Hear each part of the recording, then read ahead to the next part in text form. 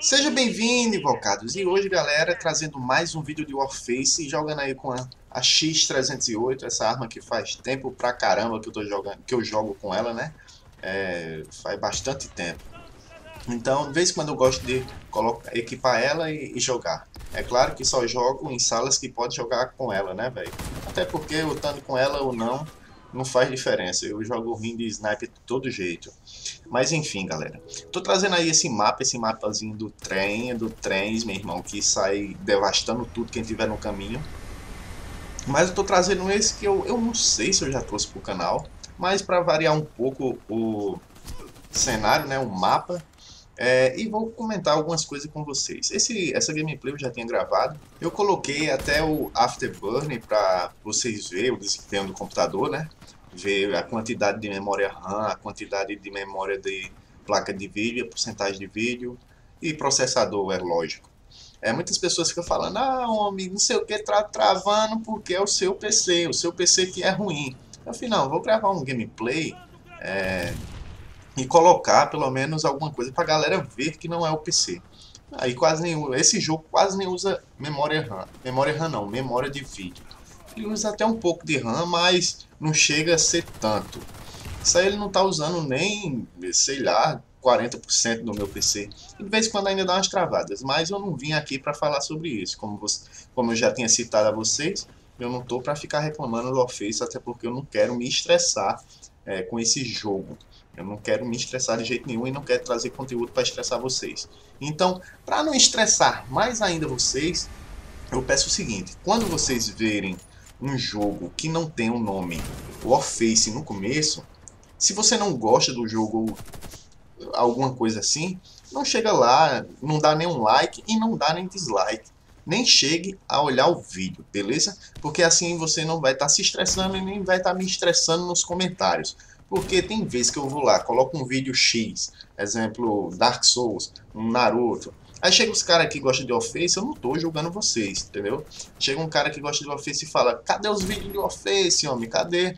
Eu quero Office, fica colocando esses jogos. Galera, é o seguinte, é, no canal existe várias pessoas, cara, não, não só vai existir você. Existem pessoas que gostam de um jogo X, um jogo tal.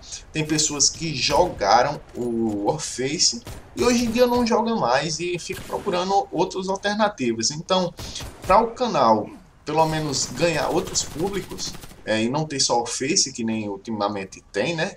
É, eu tenho que variar nos jogos e para eu variar nos jogos eu também tenho que trazer jogos que eu gosto. Então, todos os jogos que tem no canal são jogos que eu gosto, todos todos os jogos que tem no canal eu gosto, entendeu? Tem vários outros que eu gosto, mas eu não posso trazer. É, tem vezes que o PC não roda, um exemplo é o BO3. Meu computador não, não roda muito pesado aquele jogo. Então não vale a pena ficar tentando gravar aquele game. Eu tenho, mas é assim. E tem outra, galera. É, eu tinha falado sobre frequência de vídeo e tal. É, a frequência de vídeo diminuiu pelo fato de eu estar bem ocupado véio, durante o dia. Então, é, tem, eu tem vezes que estou focado em jogar só um jogo e eu não, não saio daquele jogo por nada, entendeu? É que nem eu era no Office. Então tem vezes que eu não posso ficar trazendo um vídeo de Office, é, ou ficar perdendo tempo para editar, porque é o seguinte, se o canal desse dinheiro, era outra história, mas como não dá, meu irmão, o cara tem que se virar, então tem que esquecer essa paradinha de estar tá editando vídeo, tá gravando vídeo e não sei o que, entendeu? Tem que focar em outras paradas. Então o canal tá meio que parado, eu só posto alguns vídeos para me divertir. É, vocês podem até prestar atenção que a maioria nem é mais rage e tal. Eu espero que vocês estejam gostando disso.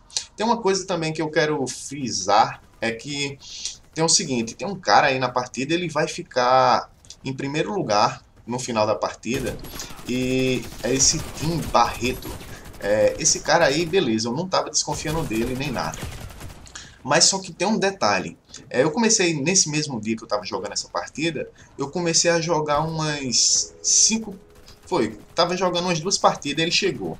Aí joguei com esse cara na mesma partida, é, na mesma sala, umas seis partidas.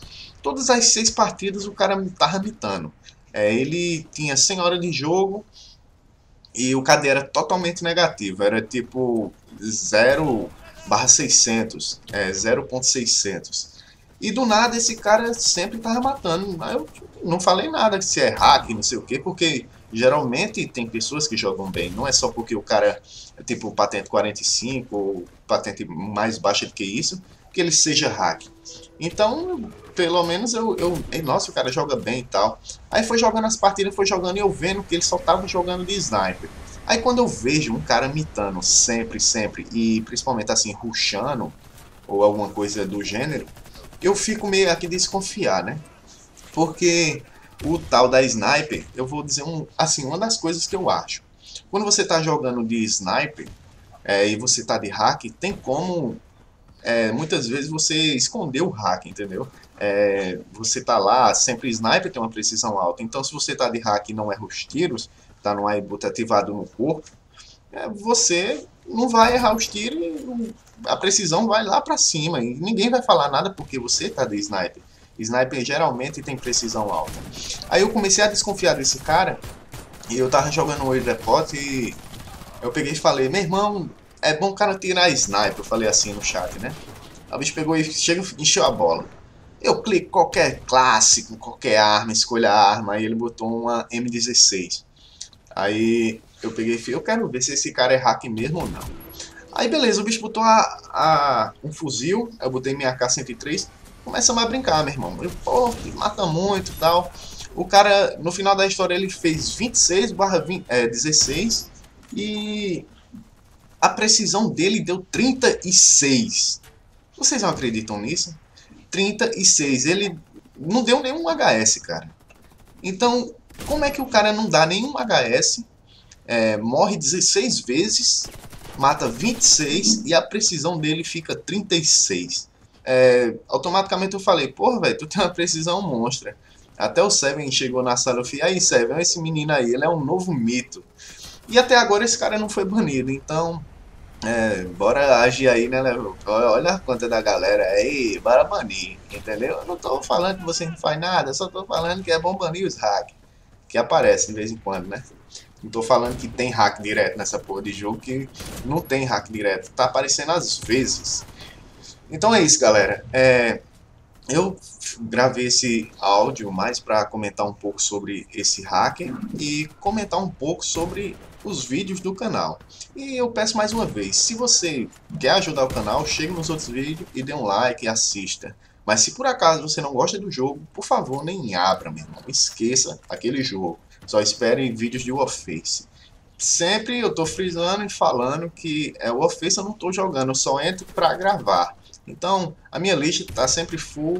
Quando eu entro, gravo, né, tipo, eu jogo uma hora só de, de, de game, né, no Warface e vaso, velho. É simplesmente assim, o meu vício, como eu já falei a vocês, meu vício do Office já era, cara. Eu não, mano, eu não sinto nem tanta falta de ficar jogando esse jogo, tá ligado? E, mas eu não tô falando que o jogo é ruim, o jogo é super top, o jogo é foda, fodástico, fodão. Então, é, eu só acho meio estranho essas paradas aí de skin nova, tá ligado? Essas paradas de skin nova aí tá acabando com o jogo mesmo. Não sei pra que isso tá virando um PB. É, eu também não tô falando que PB é ruim, tá ligado? PB eu não jogo porque eu não gosto daquele estilo de jogo. Mas de vez em quando eu jogo aquele Blood Strike, tá ligado? Eu fico lá na Lan House trabalhando, aí o computador roda Blood Strike. Então eu fico lá metendo uns tirozinhos em Blood Strike. Foda que tem muito moleque que não sabe jogar tanto. É, teve umas pessoas que tava perguntando a mim nossa, tem alguma dica para o meu canal e tal? Canal de Office, né? Os caras tá fazendo. Então, é, eu vou dar um recado bem rápido para essas pessoas. Cara, se você tem um canal, vai fazer um canal de Office, é, às vezes você já está começando meio que errado. Porque o Office, o que mais tem é canal. Quase todo player de Office tem um canal, só para você ter uma ideia. Tanto que eu conheço de cara que tem um canal de Office, não é brincadeira. Tem cara que fala, porra, eu vou virar YouTube, o cara posta nenhum vídeo, tá ligado? Aí fala, ô, oh, olha meu canal aí, aí fica meio complicado. Mas eu não tô discriminando ninguém, cada um pode fazer o que bem entender. Mas a dica que eu dou é que você faça um conteúdo do Office que ainda não exista. Tipo, ficar fazendo conteúdo do Office, um review de um AK-103, um review de uma arma, que todo mundo já faz uma coisa dessa padrão. Então, para você ganhar um público maior e é, ganhar um certo respeito no jogo, você tenta inovar, tenta fazer uma coisa que ainda não foi feita é, na comunidade do Office, entendeu? Na comunidade que eu digo assim, no estilo de vídeo. se você vai fazer um vídeo zoeiro, é, edição zoeira, também meio que não adianta, já existe muito canais assim e fica difícil, é muita concorrência, entendeu? Então, é, eu só dou o conselho, faça algo que não existe ainda. Pesquise bastante e eu garanto que você vai ganhar muito inscrito do, do, do jogo, Warface, que a galera são bem bacana, eles são frenéticos mesmo no, num game. Então é isso, galera. Eu espero que vocês tenham gostado aí do papo. É, eu tô com outros vídeos de Warface gravado e eu vou postar ainda pelo menos mais um essa semana, não sei. Eu tenho que fazer o top 5 tá atrasado e o top 5 CSGO também. Então é isso, galera. Valeu, falou, é nóis. Valeu, invocados. Fui!